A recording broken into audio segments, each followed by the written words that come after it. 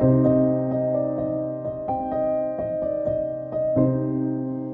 hey there, it's Sandy, and today I'm going to make a watercolored Kwanzaa card. You could do this for other seasons as well, other different kinds of scenes in it, but I'm going to use the Hot Mess Lady along with the Love and Light sentiment set that has other than Christmas types of holidays. I don't celebrate celebrate those, but it doesn't mean you don't, and it doesn't mean you don't have friends who you could send one to who do celebrate it. And I'm going to give away this card, so stay tuned to the end to hear about how I'm going to do that. And let's get started. So I'm setting it up in my mini MISTI. You could also do this in a regular MISTI with my stamp at the angle. I want her to be peeking in from the doorway and kind of looking outside to check the snow. She's going to be holding the coffee mug. So I stamped the mug first since it's going to be out in front and used a little bit of eclipse tape to make that mask. And I'm trying to figure out what is the right placement. She has her hand against her head, and I need to make sure I block that hand off. I want to not stamp that hand because we're going to imagine her hand is actually holding the mug. And she does not have three hands. so you have to be careful of that one. And what I'm doing is checking and double checking and double double checking the placement for my sticky notes. And if I put a row of sticky notes down here, I can see that I happen to have it so that it's exactly at three and a half inches on mine.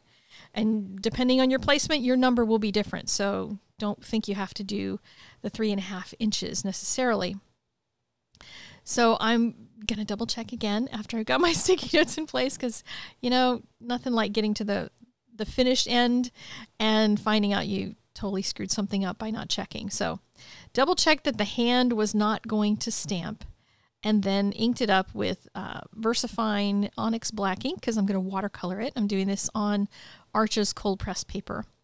And you can see I've got this, you know, nice line now that's masked off that she will not be stamped in that area.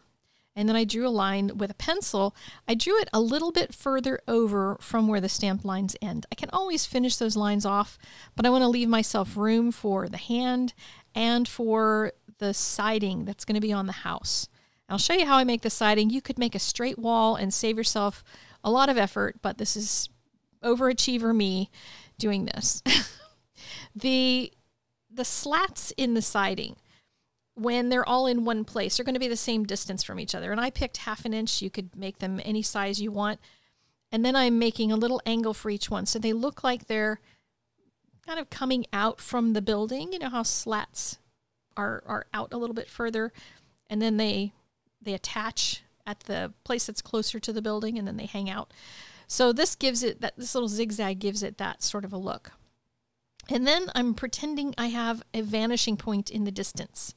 And a vanishing point is where things in perspective line up with. So if that vanishing point is out here, if I put my little my little pencil marking, then each one of these lines will point to the vanishing point. That's how this particular side of the building looks like you're getting a view like your head is right alongside it. You're standing at the side of the house.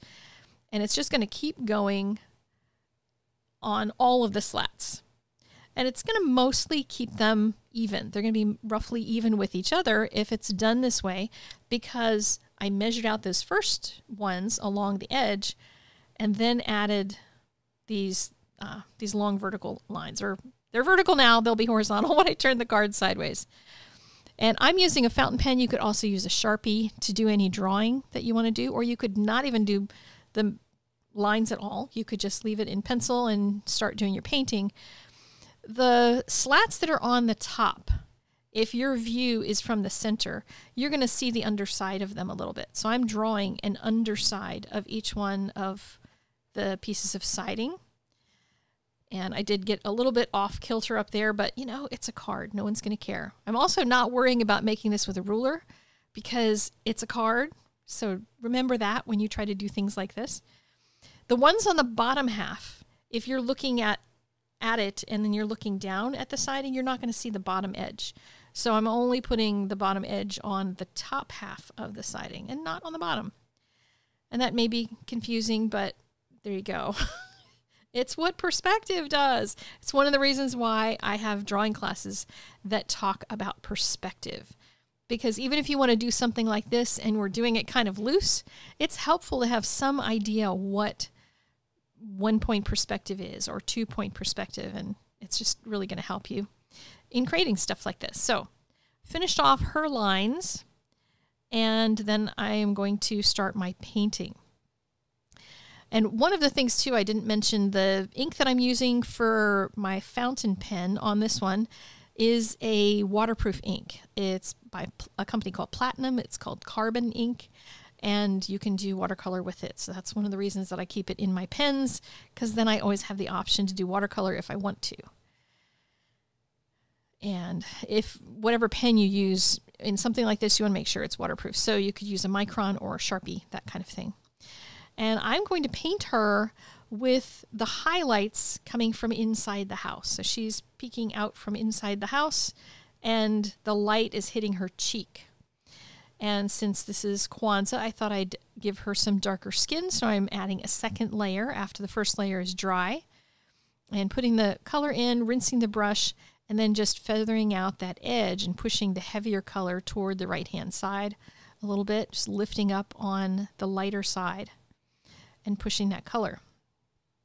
You could, of course, adapt this if you want to put different hair on her. You could mask out the hair and then paint your own hair in, or draw it in with a pen and then paint that. Whatever you would like to do.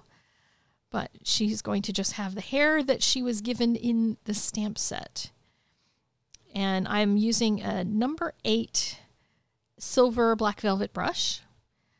I kind of giggle because I get asked what brush I'm using all the time. And I try for the most part, I don't do it in this video entirely, but I try for the most part to use my silver black velvet brushes because for crafters, they're a decent synthetic brush and they're good enough for cards because you're not painting giant things for the most part.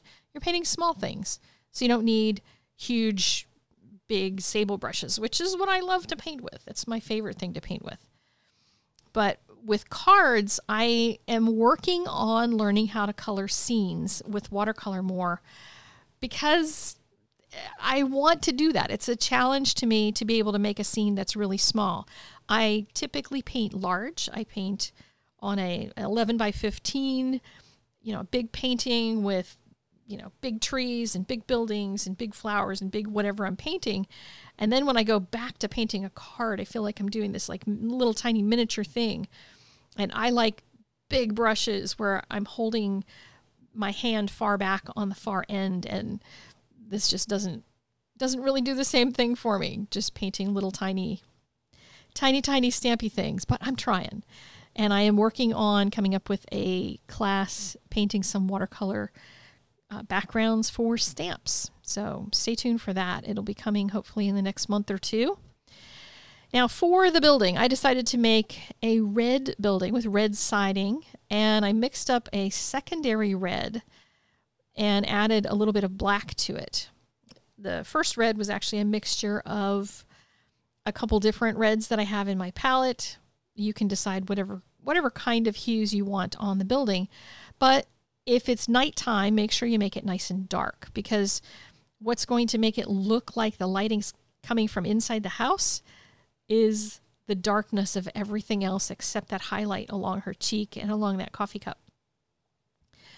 So I'm going to kind of blend out the colors a little bit. I've added some shadows underneath each one of the slats so they look a little bit dimensional. And then taking my brush and painting some of the the regular red in between. Now, I did use a different brush for part of this. I'm going to use it again in a few minutes, and it's one of my sable brushes, one of my nice ones. And then I switched back to my silver brush because I'm trying to get in some of these little areas, like the, the little edges where the siding ends. And that big brush is a little challenging to get into these tiny areas. Again, it's hard to do with watercolor so if you struggle in trying to paint watercolor cards, that would be why. it's not an easy thing to do. All right, so now I'm going to paint the scene in the background. And you can paint whatever scene you want back there. If you want it to be just a blue sky and that's it, you could just do a blue sky. And you could do a night sky. You could use uh, like brusho powders or any kind of you know watercolor powders and make a a fancy sky with all different kinds of hues in it and what whatever you want. You could do it go crazy with it in any way you want. I'm going to do a really simple indication of a forest. So I'm putting the snow at the bottom, just a little kind of curvy line. And again, I'm using my big sable brush. You can see how much ground I can cover with a big brush. It's one of the reasons why I like to paint big. And when I have a big area on a card, I'm like, yoo-hoo, I finally get to use a big brush. And then I'm going to try to paint around the stamp. Not real easy with a big brush. And this is not actually, it looks like a big brush, but it's not actually a big, big brush. It's a size 10. And it's like any other item that you want to buy. Every company sizes things differently, and this 10 is much bigger than a 10 in the Silver Brush brand. So uh, there you go. This is a size 8, and it doesn't look like it's just one step down from that 10 or two steps down. But it gives me a little more control in painting right around the stamp itself and getting color into all the little crevasses, which you want to do while it's still wet. You want this whole area to stay wet while you're working on it. And I'm very aware of exactly how wet my paper is as I'm working. I'm trying to work quickly enough that I can go in and put a second coat of the blue paint in there. This is Indanthrone Blue. I can put a second coat in and have it all blend because the paper's still wet. If it starts to dry, you'll get hard edges. And one of the things that's going to happen here, and it happens whenever you're using stamps, it's one of the reasons that I don't always use stamps and watercolor all that much together, especially when you're using dark colors like this, is that it collects around the edges. You know, watercolor just kind of tends to pool around the outside edges, but it also pools around the stamp itself. Do you see the the blue that's collected around her arm? That's because that's what watercolor does. And I'm like working on trying to figure out how to develop techniques that avoid that. The technique I'm using here is to hide it a little bit. I'm adding more trees in the background so that it's not as obvious that I have this what feels to me like a big blue outline around her hand because that's where the paint collected.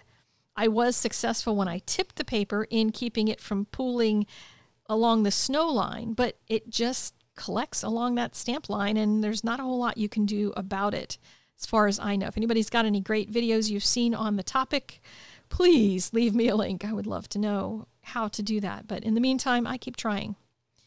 So while all this was wet, I used some very watered down paint and my number eight brush to create some branches. And I'm just doing light indications. I'm not trying to make anyone a deliberate tree branch here because that's just not going to look realistic. But I'm going to be putting snow over it. I just want it to feel more like trees. And that's what putting some branches in is going to do. So I peeled off my tape and it's all good and dry so I can add snow using my white Uniball Signo pen.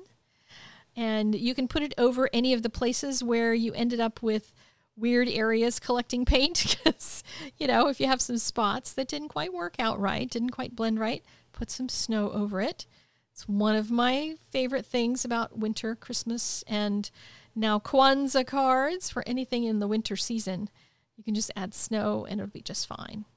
Now, I told you I was going to give away this card at the end of the video, so let's do that.